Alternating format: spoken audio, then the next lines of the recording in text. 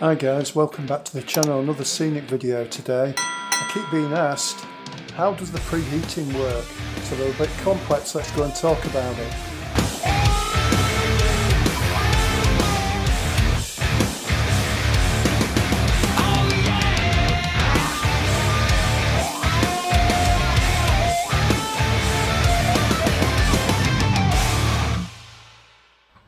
Second wash in five months. So it's looking nice and clean. Look at this.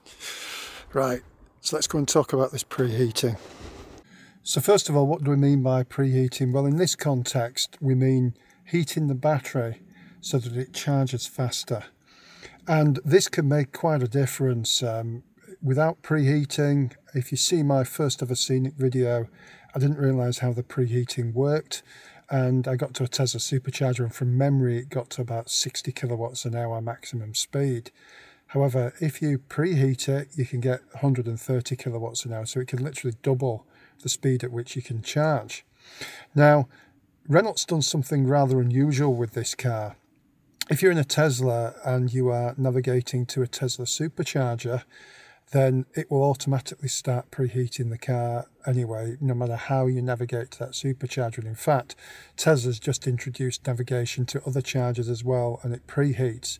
The Renault, in some ways, was one step ahead of Tesla because it would preheat to any charger, didn't have to be just a Tesla charger, any charging it would preheat.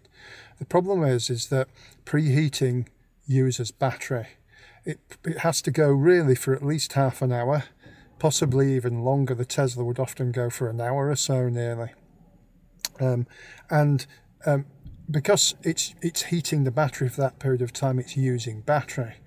So what Renault have done is they've said, right, if you navigate to a charger and that's your end destination, it's not going to preheat on the probably wrong assumption that you won't need a fast charger when you get there. It doesn't matter if it's slower and you don't want to use battery whilst you're going there. So there's a trick what you've got to do whenever you're navigating to a charger for the preheating to work and this is what I'm going to show you now. So the way to do it is if you want to navigate somewhere and you're going to need a charge but you want to select your charger uh, and you want to have it not as your final stop. So if I just navigated to Tesla Supercharger Milton Keynes for example it wouldn't preheat but imagine I'm going to Milton Keynes anyway, and I just want to call at a charger near to Milton Keynes. So what you have to do is you first of all have to navigate to where you're going. So I'm going down to Milton Keynes. Now this car, check my other videos, can, and I'll link one above, um, can get to Milton Keynes in one go. But the Google system here grossly overestimates consumption. I found, and so it puts in charging stops that aren't needed. So you get to know the car and you can cancel them off. But let's just pretend it needs a charge if I'm going to Milton Keynes. So let's navigate to Milton Keynes first. Hey, navigate to Milton Keynes Central. So this, Navigating to Milton Keynes Central. So you can see it's saying, uh, you saw it quickly there, it would run out of battery. It claims it would have minus 11% by the time I got there from near Wakefield. That is incorrect, it wouldn't have. But And what it's done is, and I don't know how it selects this, it's selected a very early charge here at Chesterfield. Goodness knows why. I mean, it would, my car, if I set off with 100%, would have an absolute ton of battery left by that point.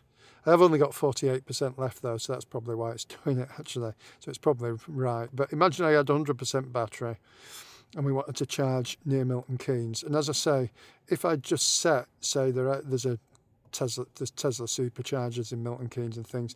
Imagine if I'd just set it as the Tesla supercharger Milton Keynes, it would not preheat. But we've already got a charging stop in, and you only really need to do this where you've got a charging stop already on. And what you do is you can replace it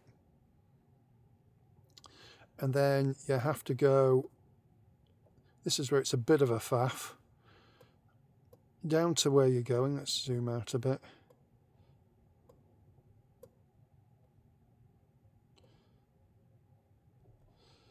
There we go. Search this area. And we have got let's have a look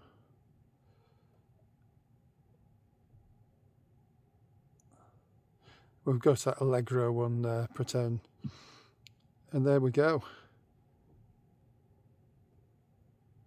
So we've now got Milton Keynes as our destination and we have got a charging stop en route and your battery will preheat before it gets there. Right, the difficulty comes if you want to navigate somewhere and your car doesn't need to charge on the way. Now, I've only got 44% battery left, so I, I could possibly just get to Milton Keynes actually uh, on 44%, but um, it'd be, I'd be struggling. So it is. It would need to charge if I now navigate to Milton Keynes. I can get there and back on one charge. But imagine I had 100% and I didn't need to charge, but I wanted to go to Milton Keynes and I thought to myself, you know what, it's going to be tight coming back. I've got plenty of time going down to Milton Keynes before I have to be at my appointment. So what I'd like to do is I'd just like to stop at Newport Pagnell at the grid serve there. I can't stop at Tesla uh, so I'd have to stop at the GridServe. Um, I want to charge up to 100%, continue to my journey at Milton Keynes, and then I can come back. So first of all, um, I will uh, navigate to the GridServe. Hey Google, navigate to GridServe Newport Pagnell. Navigating to GRIDSERVE charging station. So we've got that already in and then I can add a stop, choose destination, um, Milton Keynes Central. I'm not sure for this if you can use the voice command, maybe you can if you press on the steering wheel. But anyway, just type it in. And now it's added a stop there. And you'll see it's got me going to the grid serve there at Newport Pagnell. 33 minute charge. Uh, in fact, it's the one near Bletchley for some reason. And then it's got me going on to Milton Keynes.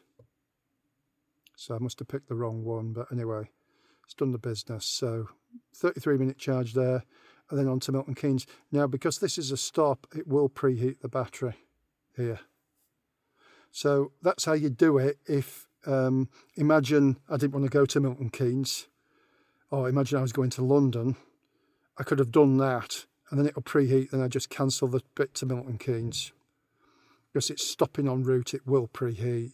So it is um, overly complex and I think Renault should change this but that's basically how you do it you just need to put in another destination added as a stop close to the charger so you can navigate to any charger and then put in a destination which is very close to it as an added stop that's how you do it basically on that way.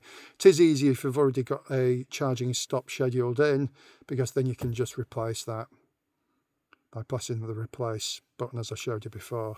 So as you can see it's unnecessarily convoluted really isn't it and Renault really need to fix this I think on a software update which could be done but that's how you do it. Uh, don't set your endpoint as that charging station. It'd be so easy just to say I want to go to the Tesla supercharger in Milton Keynes and it preheat the battery wouldn't it really but you know, it's a foible of the car and um, just a bit unfortunate but I hope that helps anybody who's wondering how to make it so that their car preheats because it makes a heck of a difference. As I say, you're probably double, and we're talking about in 14 degrees, even not even freezing cold. You go from 60 kilowatts to 120, 130 kilowatts. Check out my other videos where you see some of my journeys, distance tests, and charging. And please like and subscribe. The full review video of this Scenic after nearly six months of ownership, it is coming. I keep doing bits and I'll put it all together shortly and uh, you can see my final conclusion on the car. Cheers, bye.